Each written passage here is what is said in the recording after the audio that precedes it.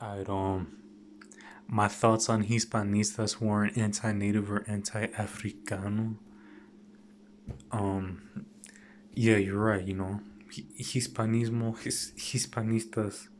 You know, at the core of it, they're not they're not racist people. The movement's not racist, and most of them aren't racist. But it's just select few that are very racist, or or a lot that are very racist, and um, and they give a bad name for Hispanismo. But of course, you can be proud of your Spanish heritage and culture without being racist, and that's how it should be.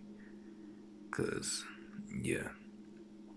I, I feel like a lot of these Hispanistas who are racist, well, first off, most of them are, you know, mixed race, and a lot of them just cope with being mixed by being racist so that's that's what I think about that.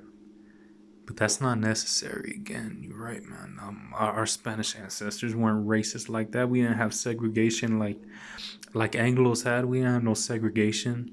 We didn't have that. We didn't have no Jim Crow, all that nonsense. No reservations, none of that. So, you know, our Spanish ancestors weren't racist, so why would we be racist, you know? So if you're a real Hispanista, don't be racist. That's my take on that.